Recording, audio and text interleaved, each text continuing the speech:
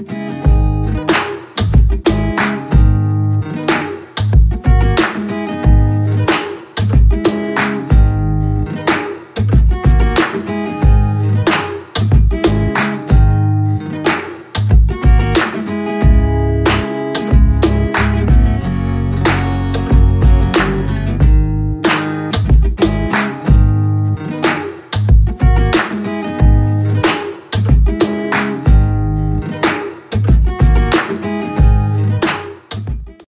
Hey everyone, Amy here.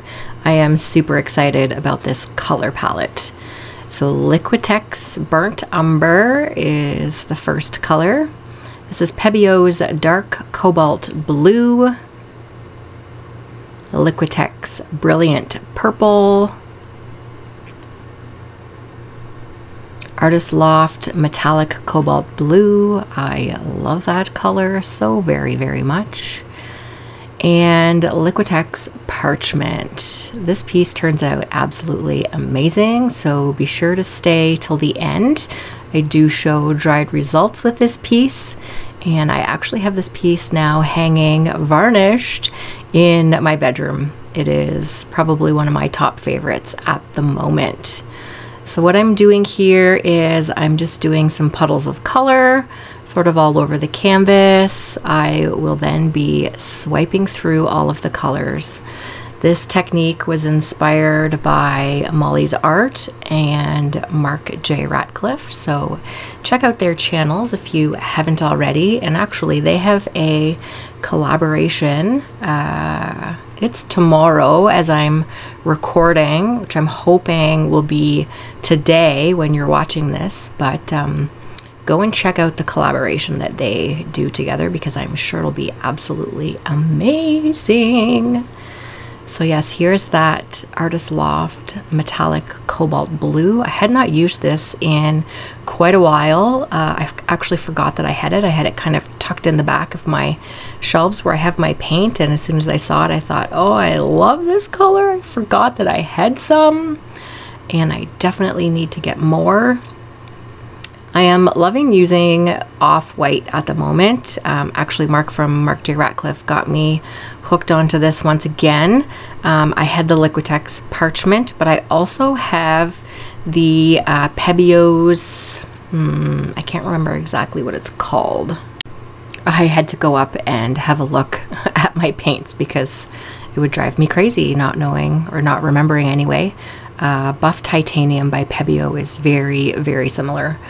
Um, and yes, at this point, I kind of realized that I may not have mixed up enough paint.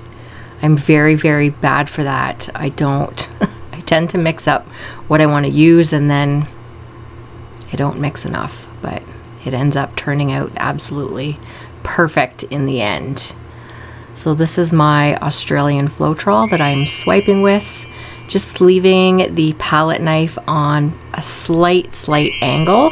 Uh, I mix my Australian Floetrol with Amsterdam Titanium White, three parts Floetrol to one part paint and nothing else, no water, no nothing. Um, and it makes this uh, beautiful lacing. If you don't have any Australian Floetrol, uh, one of the other things that I have used in the past is just Amsterdam paint and water. The lacing is not as amazing as with the Australian Floetrol, but give it a try if it's something that you want to try. I know that Gail Burston also uses regular Floetrol with her Amsterdam paint. She calls it her Amsterdam formula, and she has it usually listed in her description. So here I'm just going back in, tweaking some of the spots that I uh, wanted to kind of move through the other paints. And yes, my overhead camera quit at this point. I can't remember exactly what happened, but somebody probably called me. I had forgotten to put it on Do Not Disturb. But uh, thank goodness I have my side angle, so apologies, apologies, apologies. But like I said, stay tuned because the end result of this piece, you can see the lacing there on the side with that parchment and the brown. Oh, it just like shimmers and glows. Love, love, love. And when I use my Australian Floetrol in a piece, I will often stretch it out and then go back in with more as I'm doing now because I like the combination of some stretched out lacing as well as getting that really, really tight um, lacing effect that hasn't been stretched out completely. So, yeah, definitely give this a try. This color combination, the metallic cobalt blue mixed with the purple, creates its own beautiful, beautiful color. You'll see here with the close up. I love that parchment with the brown. The metallic cobalt blue does tend to take over. Um, it's one of those paints that can really swallow up a lot of your other colors. So really be mindful of that. I had a couple of spots that I went back in with and um, tried to fix them up a little bit and I, I love the end result. And like I said, that purple with the metallic cobalt blue just looks absolutely amazing. And there you can see it really pushed its way through the parchment and the brown. But I love that effect as well. So let me know what you think of this piece. Don't forget to subscribe to my channel. Make sure you hit the notification bell. All of my art is for sale.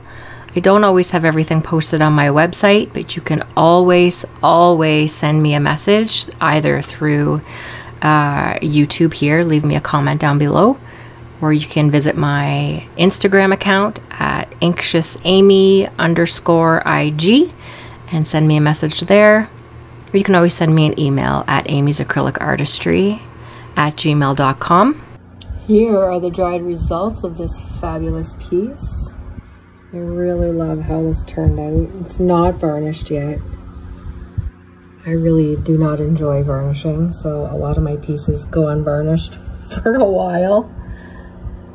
However, I don't know, this one has such a shimmer, especially that Artist Loft Cobalt Blue. And I love how the cobalt blue and the purple just create its own little color.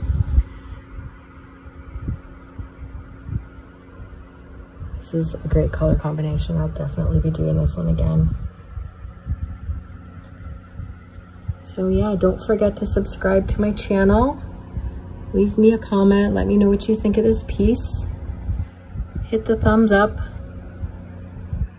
But really be sure to subscribe to my channel. Thanks everyone for all your support. So have a great day, everyone, and a great week and I will see you in the next video. Bye!